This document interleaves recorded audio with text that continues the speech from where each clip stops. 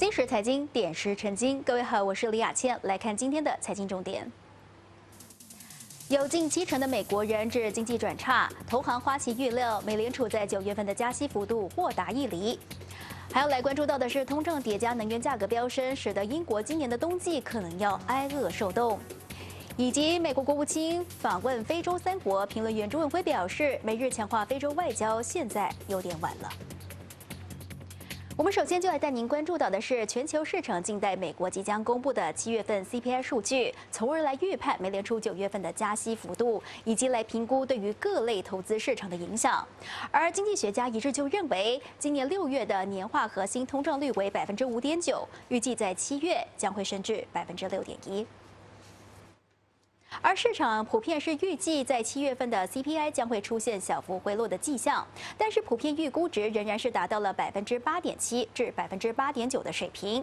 在持续高通胀的影响之下，美联储已经呢是把打压通胀视为是当前的首要任务了。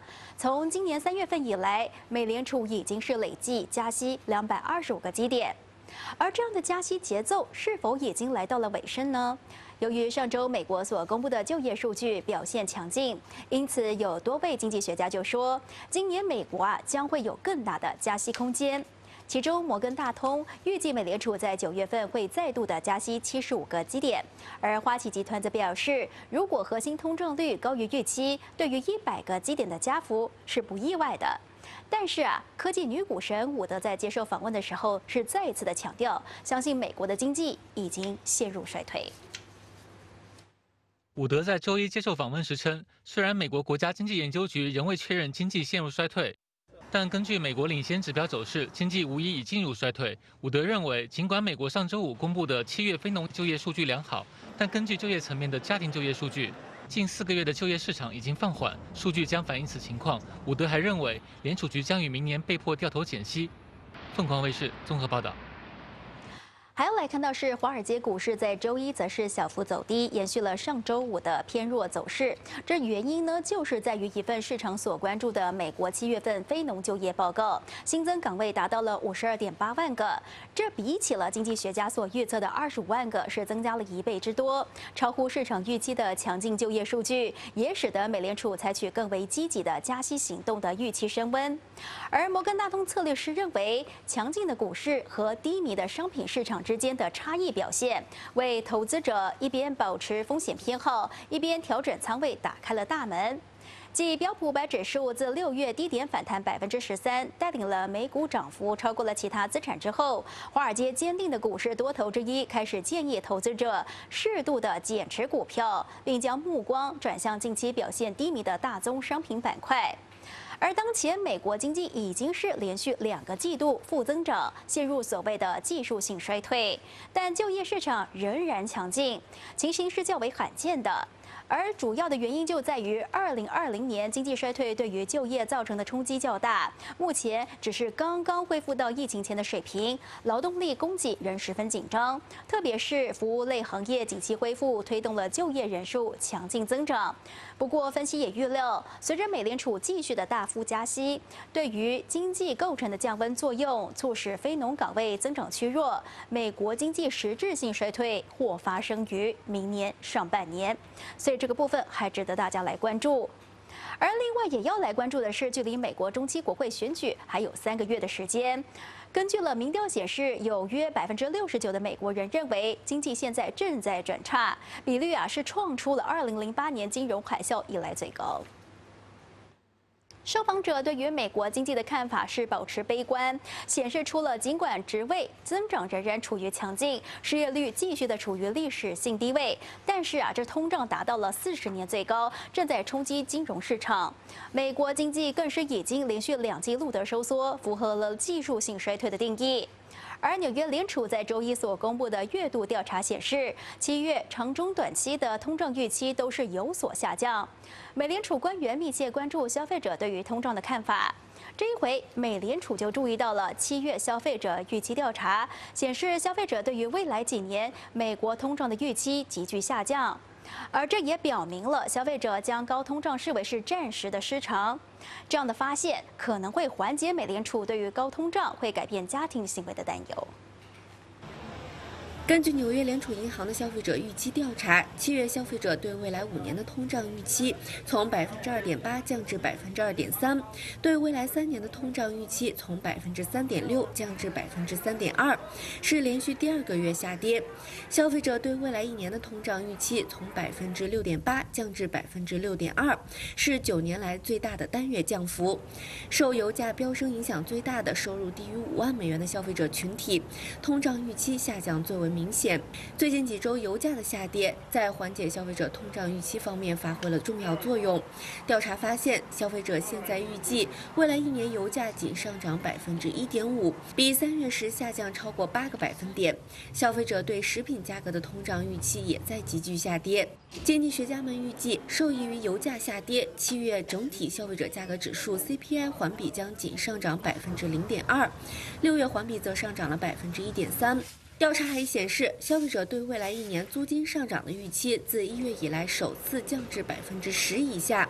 房利美同天发布的另一项调查估计，未来一年租金将上涨百分之七点六，而房价预计将上涨百分之三点五。同时，调查还显示，消费者对自己工资的预期保持稳定，预计未来一年将增长百分之三。尽管经济存在衰退风险。但消费者对就业市场仍普遍持乐观态度，预计未来一年失去工作的平均概率小幅下降至百分之十一点八。受疫情相关的供应短缺、大宗商品价格飙升以及财政刺激和低利率提振的强劲消费需求推动，美国通胀在过去一年飙升至四十年来高位。美联储正在寻求通过提高利率来控制物价。同时避免使经济陷入衰退。美联储主席鲍威尔六月提到，消费者通胀预期高企是美联储六月政策转向更激进的一个理由。然而，根据纽约联储的调查，当前的高通胀也可能会继续影响家庭预算。未考虑通胀因素的未来一年支出增长预期中值，从五月的百分之九连续高位降至七月的百分之六点九。凤凰卫视王佑佑、陈一秋华盛顿报道。好，相关话题，我们现场也请教到评论员朱文辉先生来为我们点评与分析。所以朱先生应对通胀，您认为美联储表现如何呢？表现到现在看呢，还是比较差的。而他们现在还抱着一个幻想啊，说这个通胀啊，经过这个基金的加息之后呢，它自己就会下来。所以所谓的过渡性的这个言论又出来了。但市场对于他这个判断，市场也糊涂了，因为市场有一大批人也希望通胀是过渡性的，这样股票啊可以继续往上走嘛。呃，但是实际的情况要比这个要复杂得多，所以我们可以做一个假设：如果说美联储它坚持用一种比较鹰派的做法，向市场传递这个明确的信息，呃，市场是可以有反应的。但是美联储呢，从鲍威尔，呃，到这个像总统拜登这样的人，他都是把这个问题呢轻描淡写，所以就出现现在这个问题，全世界都在看着美国下一步会怎么办。我相信，呃，美国的官方机构，它一些核心的人物应该得到了上个月的数据了，呃，但是呢，从现在的情况来看，呃，有可能是从九点一 CPI 本身就下降到九以下，当然这个是个好事了，不再往上走了，往下走。呃，不过另外一种说法就是说，核心的通胀就是扣除食品和能源以外的。呃，它的价格是从五点九上到了六点一，核心通胀就是其他的。我们说，呃，那些进入成本的东西，比如说工资，呃，比如说这个房租，它就是开始出现我们叫螺旋式上升的这种趋势了。呃，美联储下一步怎么办，谁也不清楚。但是呢，我看到最近澳大利亚的央行，也就是澳大利亚联邦储备银行，它做了一个。按照《金融时报》那个作者说的，可能会吓坏其他央行的举动。他做了个什么事情呢？他成立一个独立的调查委员会，来调查澳大利亚的货币政策和通胀的关系，而且从开始就要查你怎么做的这个决策，你为什么这么做？哎，里边有没有什么其他的因素考虑？你为什么说这个话？所以呢，如果说成立这么一个调查委员会，我想这个美联储啊、鲍威尔他们就吃不了兜着走啊。确实如此，也如您所说，到底他们下一步怎么走，恐怕他们现在也要思考清楚了。好，说，除了这个通胀危机恶化，会影响到金融市场，甚至可能危及到人身安全吗？这是谁说的？我们来看到是英国前首相布朗在八号所提出的警告，数百万英国人在今年的冬天，他认为可能会挨饿受冻。布朗表示，由于通货膨胀和能源价格的飙升，他在自己的家乡啊是看到了没想到会再次看到的贫困现象。布朗说，如果现在不采取行动，人们将会在十月份挨饿受冻。布朗在八号也在英国《卫报》上撰文，呼吁保守党政府应该要尽快的拿出对策，应对基层民众的高成本生活处境。他同时警告，如果政府没有办法能够及时有效应对新一轮金融危机，或将在今年的秋季就会出现。布朗警告，无论是现任保守党首相约翰逊，还是他未来的接任者苏纳克或者特拉斯。都需要尽快批准紧急预算，否则数百万英国人，尤其是退休老人，将面临凄凉的冬天。虽然英国油价市场近期出现窄幅回落，但他认为燃料价格还会上涨，所以潜在的金融危机就像慢速引爆的炸弹，随时会被引爆。布朗曾在1997年担任英国财政大臣，为期十年，在2008年担任英国首相时，遭遇全球金融危机。布朗政府当时对英国银行业进行资本重组，实施临时财政刺激，被西方多国效仿。但之后，由于英国经济持续低迷，布朗政府支持率不断下降，直到2010年在大选中落败。布朗这次提出的警告被多家英国媒体转载，有媒体呼吁英国国会应当结束夏季休会期，保守党政府也应当每天举行国家安全委员会会议，商讨如何解决危机。但约翰逊作为看守内阁首相，显然是准备把问题留给他的继任者。hasn't really been a clear successor. The Conservative Party.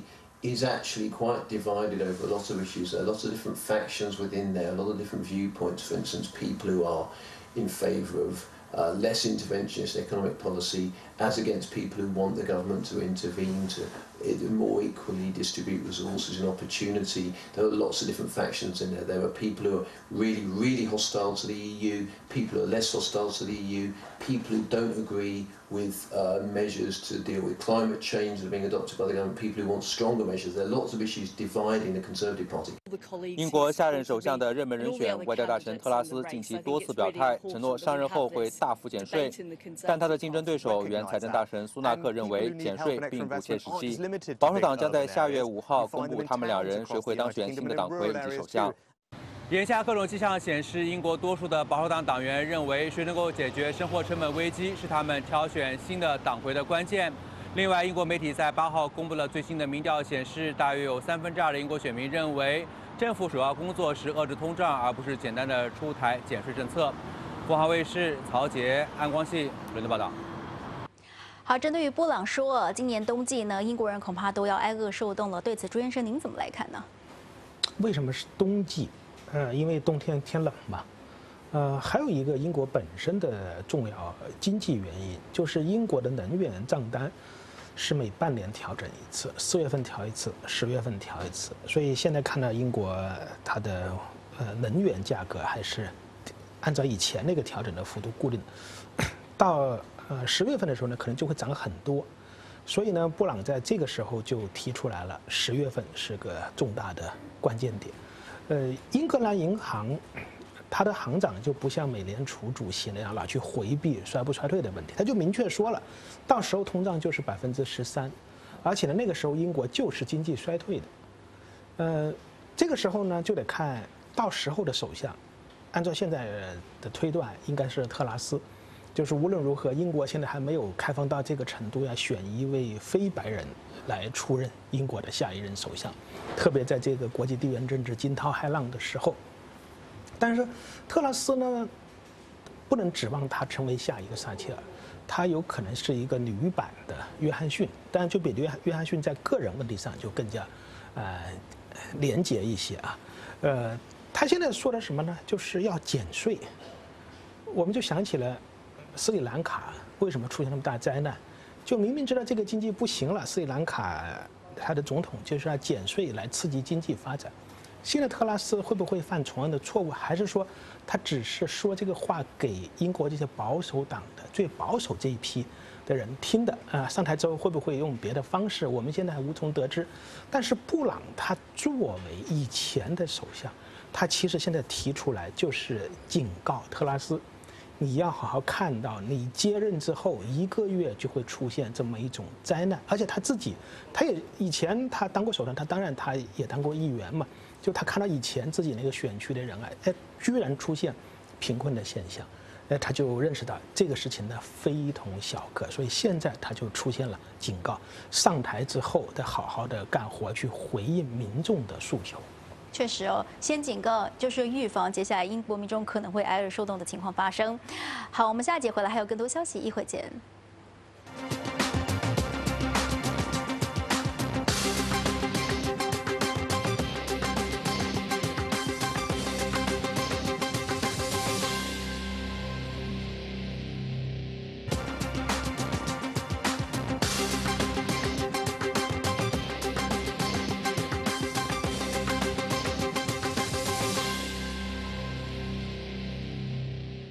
欢迎回来，继续来关注到的是，香港由本周五起将入境隔离限制改为三加四，同时由周二开始，在疫苗通行证会加入红黄码。而对于这些措施，商界普遍都表示支持与欢迎，认为是有助于吸引商务旅客来到香港。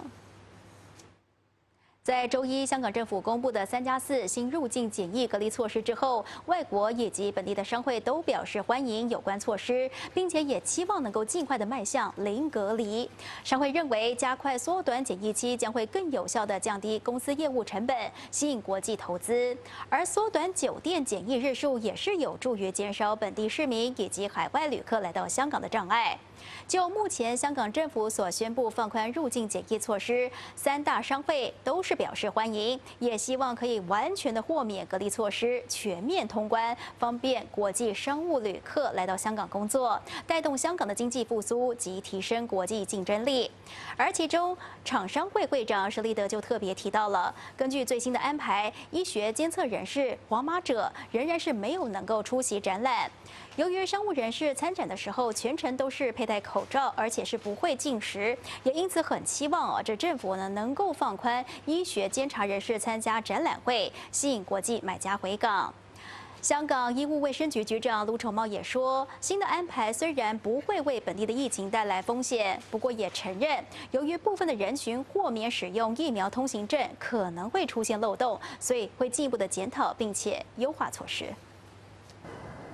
从海外或台湾抵港人士不再需要在酒店隔离七天，只需要隔离完三天就可以退房离开，并接受四天居家医学监察。香港医务卫生局局长卢宠茂八号在电台节目中表示，调整为三加四是根据科学数据，即抵港人士在隔离完三天后才确诊的比例不到百分之一，认为新安排不会为社区带来病毒传播风险。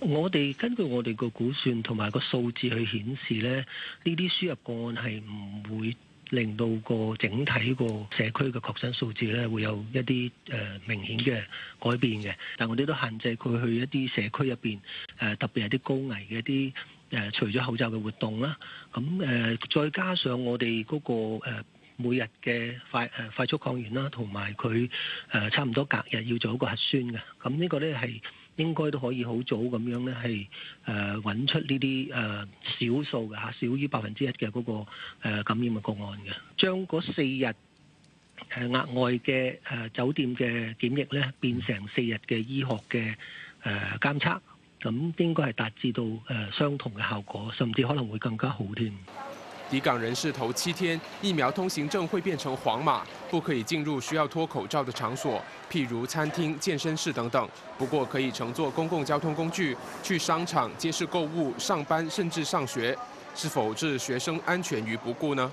卢宠茂说要平衡相关人士的生活需要，以及逐步实现与国际接轨。不过香港十二岁以下、六十五岁或以上人士进入场所时，豁免使用疫苗通行证。是否會有漏洞呢？咁但係如果佢誒喺個現行嘅制度之下咧，確實如果佢係豁免嘅話咧，佢係誒可能會誒唔會被誒被發現嘅。咁呢個係咪漏洞咧？會造成一個呢個疫苗通行證本身都係有呢個出現㗎啦。盧寵茂表示會繼續檢討現行措施，並持續優化相關安排。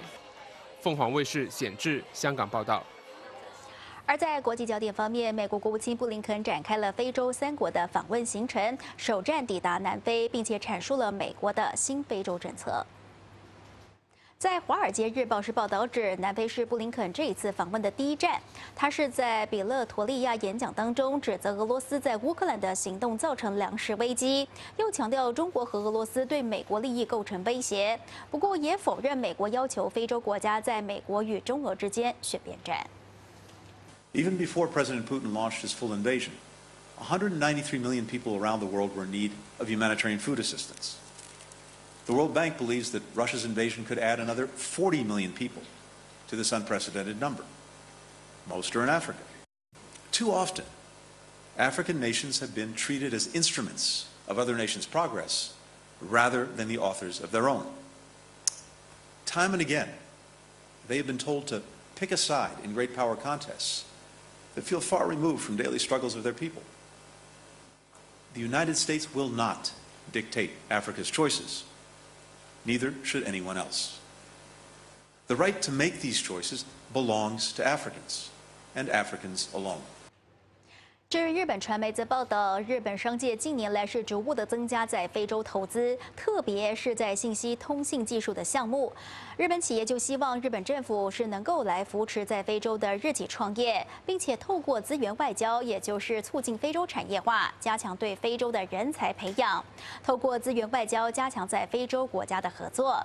好，相关话题我们进一步就要再请教到朱文辉先生。所以您怎么来看？就是说美日现在展开的非洲外交，这时间是不是有点？晚了呢，应该说是比较晚了。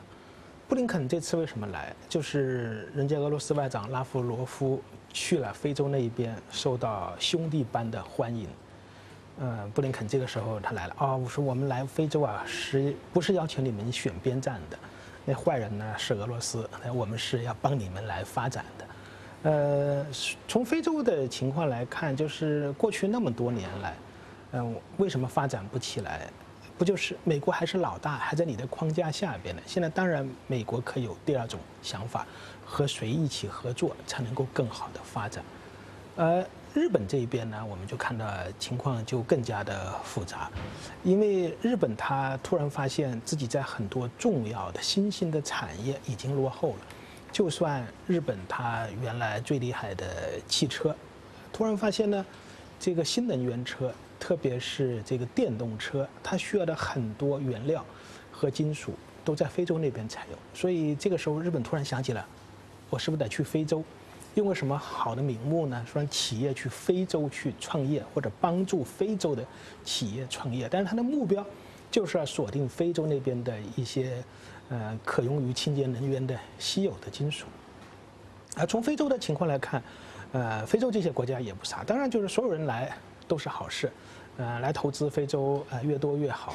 但是我们说呢，国际政治的这个现实也是很残酷的。从我们观察美国的情况来看，不要光看他说的，要看他做的。所以美国下一步要做什么？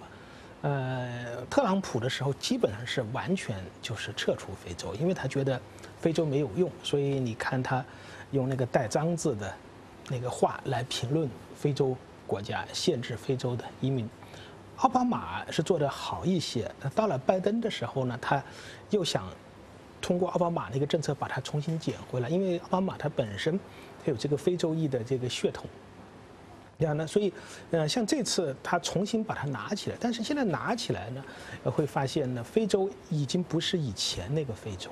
非洲当然有自己的很多想法，更关键的就是非洲在很多。迫切需要的基础设施方面，在过去十年，通过中国的一带一路，大量的项目已经建成了，呃，确确实实是帮助到了非洲人。说个最简单的说，比如说非洲的手机，它的网络就是华为用的，所以呃，就是华为帮建着。所以你这个时候来告诉非洲人说华为的东西不行，我们的东西好，但你东西在哪里？你帮人家建了多少？对吧？那么华为是呃从呃三 G 开始迅速的提高了非洲手机的这个便利度，还有呢，它手机的这个呃让大家用的更多。包括我们看到中国专门有一款手机在非洲那边推出来的，很便宜，但是很好用，还很适合当地的环境和当地的各种人文的这个特点。具体我就不多说。呃，但是就是从现在的情况来看，我想未来包括输电线路。包括呃水电设施，包括铁路、包括公路，整个这些基础设施建设的项目，其实非洲还是需要大量投资。所以美国它应该放弃自己这种大国博弈的心态。其实谁来都是好的，无非说你自己做的好不好。如果你自己不想做，做的不好，老去说人家做的不好，这个事呢，非洲人他看在眼里是很清楚的。